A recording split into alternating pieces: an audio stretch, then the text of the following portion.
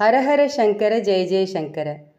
மகாபெரிவா கிட்ட ஒரு பெண்மணி நான் நிறைய ஸ்லோகம் சொல்கிறேன் ஆனால் என்னோட பிரச்சனைகள் தீரவே மாட்டேங்கிறது. பகவான் இன்னும் எனக்கு கண் திறந்து பார்க்கல போல இருக்குன்னு வருத்தப்பட்டா. அதை கேட்ட மகாபெரிவா ஸ்லோகம் சொல்கிறச்சே சுவாமி முன்னாடி உட்காந்து சுவாமியை மனசில் நிறுத்தி தானே பாராயணம் பண்ணுற அப்படின்னு கேட்டார். உடனே அந்த பெண்மணி நான் வேலை செஞ்சுட்டே தான் பெரியவா ஸ்லோகம் சொல்லுவேன். அந்த அளவுக்கு எல்லா ஸ்லோகத்தையும் நான் மனப்பாடம் பண்ணியிருக்கேன் அப்படின்னு பெருமையாக சொன்னான் அதுக்கு மகா பெரியவா சொன்னார் காய் நறுக்கணும்னா அருவாமனை கத்தியை எல்லாத்தையும் பக்கத்தில் வச்சுக்கிறோம். சமைக்கணும்னா அடுப்புக்கிட்ட போகிறோம் குளிக்கணும் துவைக்கணும்னா தண்ணி பக்கத்தில் போகிறோம் ஸ்கூட்டர் கார் எதுவாக இருந்தாலும் கிட்ட இருந்து ஓட்டினா தான் ஓடுறது. அந்த மாதிரி ஸ்லோகம் சொல்லணும்னா மனசு சுவாமி கிட்ட போக வேண்டாமோ? சர்வ அந்தர்யாமி அவன்.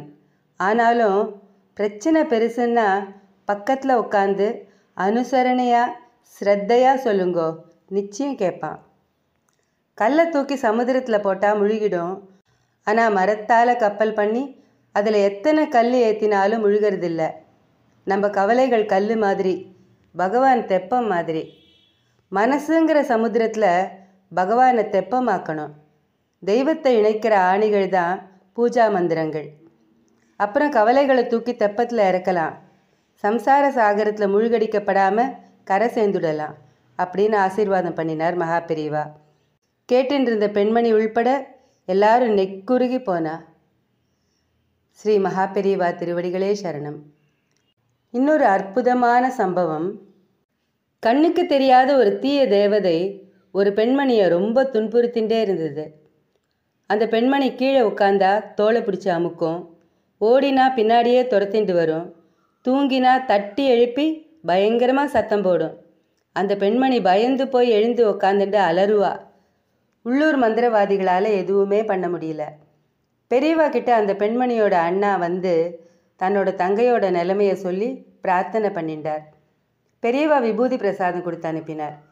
எவ்வளவு முயற்சி பண்ணினாலும் அந்த பெண்மணியோட நெத்தியில் அந்த விபூதியை பூசவே முடியல. யார் விபூதி பூச வந்தாலும் அவளை அது கிட்ட நெருங்க விடலை. ஓட்டம் ஒரே ஓட்டம். என்ன பண்ணுறதுன்னு தெரியாமல் அந்த பக்தர் மறுபடியும் பெரியவா கிட்டேயே வந்தார். பெரியவா ஒரு எந்திரம் எழுத சொல்லி அதை ஒரு தாழத்து குப்பியில் சுருட்டி வச்சு கொடுத்து அனுப்பினார். ரொம்ப கஷ்டப்பட்டு சாமர்த்தியமாக அந்த அம்மாவோட கழுத்து சங்கிலியில் அதை கோத்துட்டார் அந்த பக்தர். அடுத்த நிமிஷத்துலேருந்தே அந்த அம்மா இயல்பு நிலைக்கு வந்துட்டா.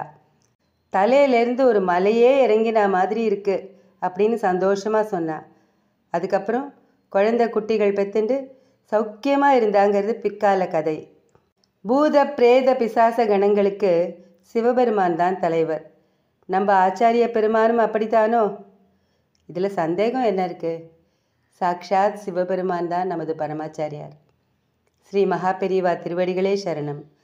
ஹர ஹர சங்கர ஜெய் ஜெய் சங்கர. காஞ்சி சங்கர காமகோட்டி சங்கர